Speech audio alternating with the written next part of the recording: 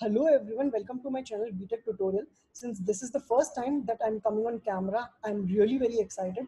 First of all, I'd like to thank everybody for their immense love and support. Little about myself. My name is Nishant Mittal and I work as a front-end developer with OLX Group and I graduated from Vellore Institute of Technology in 2020. Lately, I have been receiving multiple requests from students to shoot a video related to placements. And so here I am with a, a video. Hope you like it. So today I have with me Ameerul Shah, who recently got an on-campus offer from Nutanix as an SRE. So together we are both going to clear misconceptions that students have in their mind when preparing for placements. So without much further ado, let's get started. So when I started uh, preparing for the placements, I had the same question in mind because uh, I myself uh, had not participated in any of the hackathons and also I knew very little coding. So, but uh, I had in my mind that I have to get a super dream offer. So I made sure that I make complete use of uh, the summer vacations. And it's not just with me, but uh, there were a lot of people uh, who were very average at coding uh, getting super dream offers because uh, they put in a lot of efforts for uh, two months and three months. So uh, uh, i believe that if you have the right resources the right placement strategy and the right attitude you will actually be able to make it through. Because um, i am the live example sitting in front of you and if i can do it you can do it too.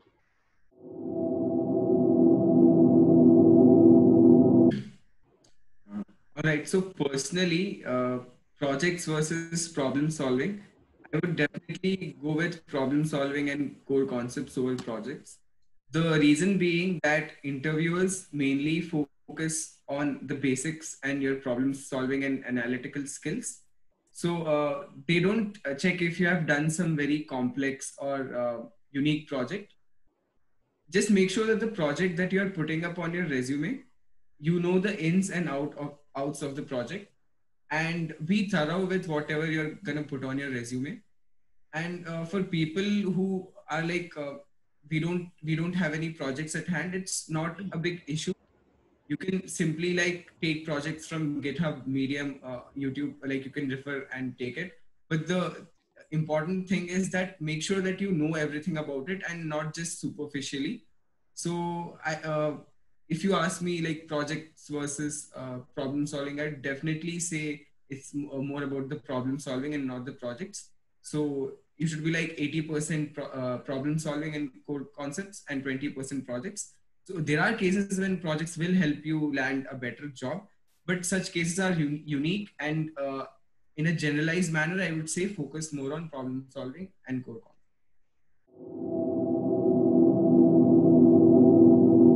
So being a part of a club or chapter might help you uh, in your own personal development or it might help you connect uh, with a lot of seniors.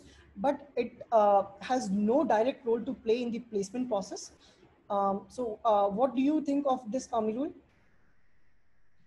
Yeah i agree with that that uh, joining lots of clubs and chapters is nowhere directly related to the placement process uh, like how good of a company you'll get one thing I'd like to say is that joining clubs and holding board member uh, like board positions, it will help you in uh, developing your overall uh, personality and will help you gather a good network. So yeah, it's a good thing to join clubs and uh, uh, have some good leadership roles. Uh, but yeah, it's not a necessity, a necessity. And if you haven't been in lots of clubs and if you haven't been a board member, it doesn't matter at all yeah even i was not a part of any club or chapter and i didn't have uh, it on my resume. So it doesn't matter actually. So i prefer quality over quantity. Uh, it doesn't matter how many questions you're doing. What matters is what kind of questions you're doing. Because um, i have seen a lot of people trying to do everything and anything under the sun which is not even required so uh, my advice would be to go through all the questions that have been asked multiple number of times in different companies because again, chances of them getting repeated are pretty high. Also, you cover uh, um, algorithms like uh, Kadane's algorithm, meet in the middle algorithm, Moore's voting algorithm, which is actually asked in the interviews. interviews. And uh, most importantly, uh, whatever question that you're doing, try to retain its approach in mind because uh, if you face a similar question in coding round you might save a couple of minutes. And that is what uh, important because uh, you will be given one hour and you will have probably three or four coding questions. So it becomes difficult to write the logic for uh, so many uh, coding questions in uh, the stipulated time.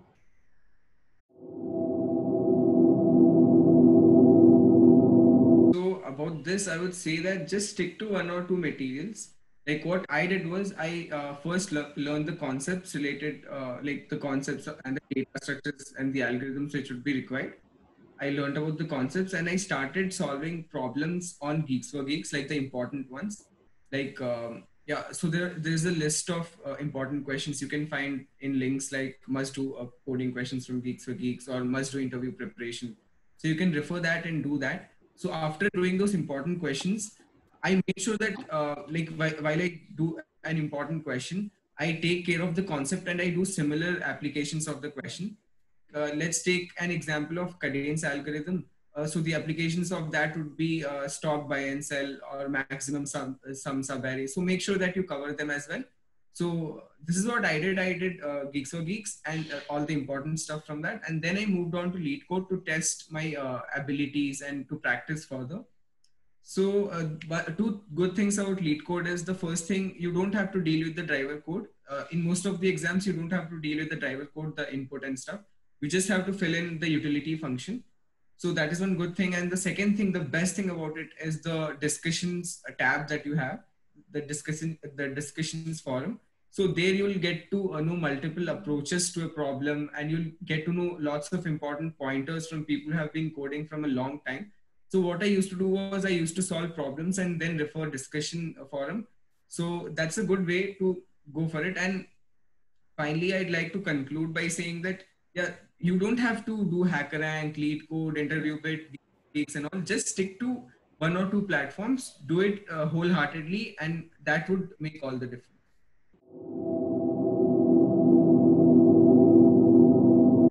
It's very important to have at least uh, one internship on your resume but uh, uh it doesn't matter what company you do it from.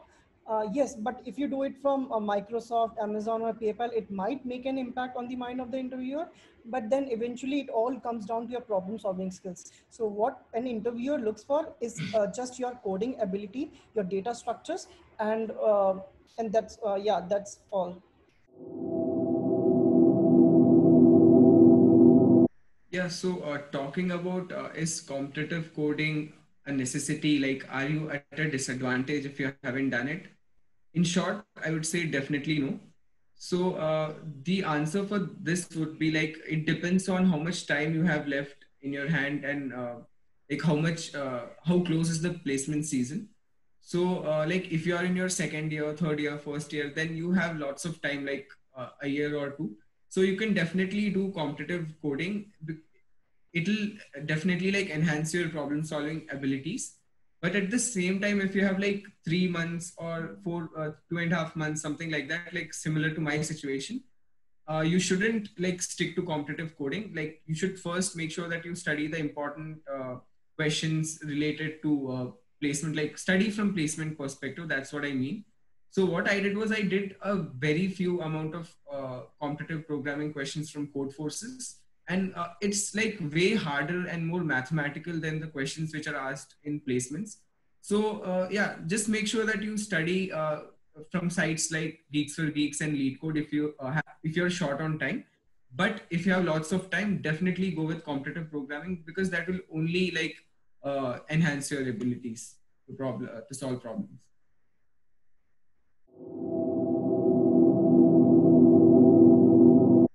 I would suggest uh, be master of one, um, then uh, be a jack of all trades. Because I myself used to code in C++, uh, because I knew only C++. So uh, uh, interviewer doesn't, um, interviewer is never going to ask you to write your code in a particular language. All they will ask you to is to write the algorithm or the pseudocode, which uh, I believe you can write in any language you want. So your take on this, Ameerul? Yeah, uh, what I'd say is language isn't a barrier. Like uh, no interviewer would force you to use a specific language. So, but um, the best thing would be to go with either C++ or Java. Like I, I have done in Java, like you said you did in C++, right? So I chose Java and I didn't really have problem with that. You can go with Python as well, but a very small amount of companies like they uh, would not prefer people coding in Python, but uh, like it does. There are very few companies who uh, do this. Uh, so yeah, at the end of the day, it uh, matters on your problem solving skills and not the language. Like language is just a way to uh, communicate your message. So yeah, you can choose anything between Java or C++ or Python as well yeah so uh, whatever language that, uh, that you're doing make sure that you know the in and out of it because uh, in c++ um, the interviewer will ask you uh, to uh, like what are the virtual functions and similar in java i believe there would be something specific that the interviewer asks for yeah like for example he would tell you like let's there's a function called reverse uh, collections dot reverse collections dot sort so he may tell you to like uh, tell uh, what goes behind this function, what goes behind reverse, what goes behind sort. So you should also be aware of the standard library functions and their uh, working as well.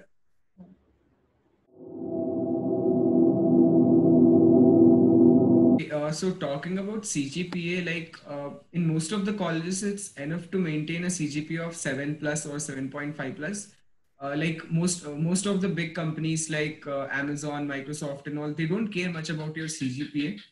But uh, coming to VIT, I would say that it's better to keep your CGPA as high as possible. Since VIT has a huge crowd, the only basis of shortlisting for round one would be based on the CGPA. So keep your CGPA over 8 plus or 8.5 plus, and you should be good to go. Yeah. So Ameerul, can you tell us about your CGPA? All right. Uh, so my CGPA is uh, 8.59. So I uh, like what I knew that it wasn't possible to go uh, more than nine plus because after it's a cumulative uh, grade point. So after a lot of semesters, you won't be able to uh, cover such a huge gap. So what I did was I just tried to maintain it above 8 8.5 plus. Yeah. So that's what I did. So can you tell us uh, what percentage of companies that you were not eligible to write the exams like uh, 80, 20 or what, what was the ratio? Uh, like, I don't remember exactly, but mm-hmm. um, I think let's, let's say um, around 40 to around 40 companies came by the time I was placed. And out of those 40 companies, I was eligible for around 30. Okay. But it's a special situation because uh, given the time of uh, this COVID crisis, shortlisting happened uh, based on CGPA more than usual. Like I'm sure that during your time, the CGPA CGPA would have been fine. But what happened was like uh, even nine pointers were shortlisted frequently, and hence this was the reason that I uh, was only able to sit for 30 out of 40. Yeah, I'm sure. So, huh. During my time, like better. most of the eight pointers, they were allowed to sit for most of the companies. So it depends upon the situation. So, okay, so uh, it's not like you should only be in CS or IT to uh, get into a very good company. If you're talking about a software based company, then uh, yeah, you should be in one of the circuital branches, and the circuital branches would include uh, CS, IT, EC, and EEE. So, most of the companies they would shortlist uh, students from these branches and in VIT, what happens is there's a special list called as the top coders, wherein they allow people from other branches to sit for the software companies as well.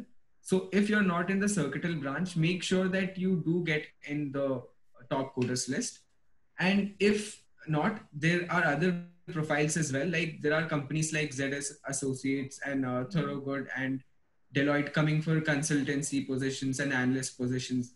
So you can get in companies like that if you're from mechanical or any other branch. So it's not restricted to CSIT only. So yeah, that's yeah. my take on it. Yeah, even I had my friends from uh, mechanical and civil branches getting placed in companies like Exela are basically trading based companies. So they allow uh, students to uh, write the exams from multiple from almost all the branches. Yeah, true. I hope we could clear all your misconceptions that you people had in your mind. And please let us know if we could help you in any way. If you want more such videos related to placements, please let us know in the comment section below. Also, if you liked the video, please like, subscribe, and share. Thank you.